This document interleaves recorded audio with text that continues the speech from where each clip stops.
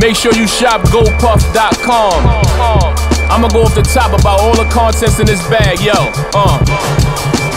Coca-Cola told Cheetos that he was getting worried, sitting in the getaway car waiting for Ben and Jerry. They came out with the money and he was in the wind. Turned the radio up, new song from Eminem. Started spending too much money. Look at these guys, brand new Nike Dunkaroos. Trying to be fly, they should've kept a low profile. Wasn't streetwise, bought a mattress from Reese's, it was a king size. Face mask said, You getting money, soldier. You better put me on unless you wanna catch Corona. Starburst got word, he called the county on him. When the police found out, they put a bounty on him. Cops look like crocodiles, so they afraid.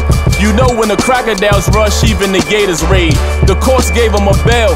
When he bailed out, he didn't even go home. He went to Maxwell's house. He was surprised to see the both of them in bed together. He didn't take it too well, it ruffled his feathers. Oreo told Chips Ahoy, I love you, Cookie. She said, You watch too much Empire, let's make whoopee. On social media, they started exposing she wasn't in the best health. He should've used a Trojan. She slept with a lot of artists. What a damn shame. The lead singer was sick. She even gave the band aids. He really wasn't okay. Allegedly, he went out like OJ.